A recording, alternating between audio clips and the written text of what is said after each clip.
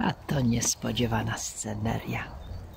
Poniedziałek, początek tygodnia, a tu proszę bardzo, jaka niespodzianka. A któż by to się spodziewał śniegu w lutym? No nie. A jak od razu moja polanka zyskała na urodzie. Proszę bardzo, śnieżek sobie sypie. Powiedziałbym, że pada raczej. Mokry. Na gałązkach się pewnie utrzyma, ale długo trochę też napadało. No, drogowcy to nie są dzisiaj szczęśliwi, na pewno nie. No, muszę się straszczać z moją gadką, bo po prostu zapada mi telefonik, że nie wspomnę o okularkach do patrzenia w dal. Takie sobie sprawiłam okularki, przyszła już ta pora, że w dal będę lubiła patrzeć za pomocą tych właśnie okularków, które teraz bardzo, bardzo sumiennie śnieżek zakrywa swoimi płateczkami. A wczoraj znalazłam u zaprzyjaźnionej pani na Instagramie następujący cytacik.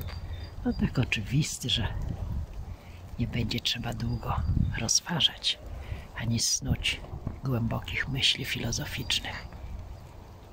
Nie ma większej radości niż nie mieć powodu do smutku. No, minimalistyczny program się w ten sposób realizuje.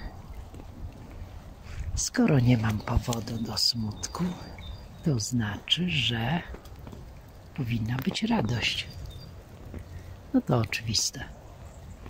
A po co się smucić, skoro nie ma powodu do smutku?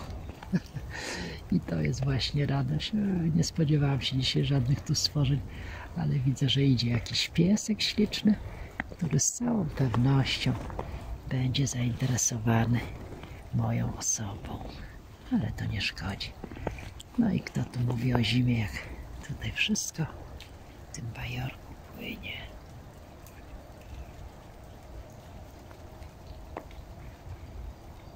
O, to właśnie rzeczony piesek.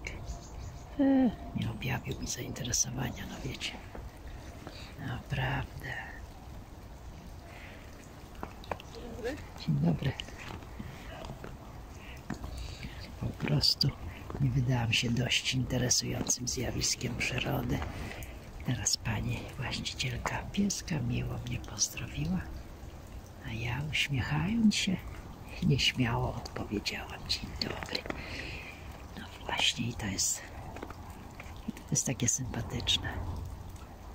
Czemu nie robią tego moi sąsiedzi, którzy od 12 lat, bo mieszkam w tym miejscu, tyle właśnie czasu, ciągle dziwią się, że ja to ja. Ale już ten wątek poruszałam.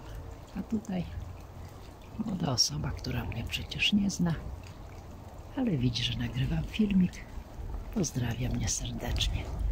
I to jest bardzo miłe. Ale dzisiaj ten śnieżek zdobi te krzaczorki. Ślicznie to wygląda. No proszę bardzo. Takie bajkowe. A tej zimy wcale nie często w tym rejonie Polski. Takie cudne zjawiska. Moja polaneczka też nie wygląda źle. Śnieżek sypie, robi się jaśniej. Nie ma powodu do smutku. No to cóż, nie ma większej radości. E, tam znam takich, co zawsze powód do smutku sobie znajdą. Ale żeby ten smutek odegnać, a to to już nie. A po co? A na co? Przeprowadziłam dzisiaj rozmowę z moją przyjaciółką. Pozdrawiam Cię, Teresko, serdecznie. No to jest niesamowite, jak właśnie czasami ktoś prosi nas o radę, to nie chcemy się przemądrzeć jakoś. Nie chcemy po prostu snuć naszych wspaniałych wizji, które muszą okazać się też cudowne dla, dla innej osoby. No ale skoro ktoś prosi, no i po prostu jest to cudowne w momencie, kiedy, kiedy już ktoś tej rady udziela, a ta druga osoba uruchamia od razu, jak to się mówi tak precyzyjnie, znajduje problem na każde rozwiązanie. A to jest niesamowite. Ale czy ja tak nie robię? Bardzo często, bardzo często ktoś mi radzi, a jednym uchem wpuszczam, kiwam głową. Oczywiście, jakie to dobre, jakie wspaniałe, trzeba zastosować, wypraktykować. A co potem robię? Po prostu zapominam i mam to gdzieś. Nie zawsze, nie zawsze, ale jakiś opór materii jest w człowieku, że po prostu trudno to jakoś, jakoś wytłumaczyć. Dobrze zacząć nowy tydzień z takim przekonaniem, że jeśli nie ma powodu do smutku, to jest to duża radość. Duża radość. Nie szukajmy tych smutków tam, gdzie ich nie ma. Szkoda czasu. Ależ tu pięknie dzisiaj. Pewnikiem zniknie niebawem. Ale taka to już przyroda, która zachwyca, zaskakuje. Jest źródłem wspaniałych doznań, zupełnie jak muzyka. A dzisiaj jaka muzyka tego lasu?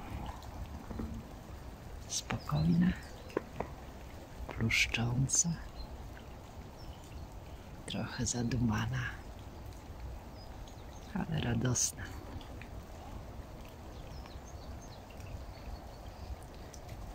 Pięknego, radosnego, spokojnego dnia, bo nie ma większej radości niż nie mieć powodu do smutku.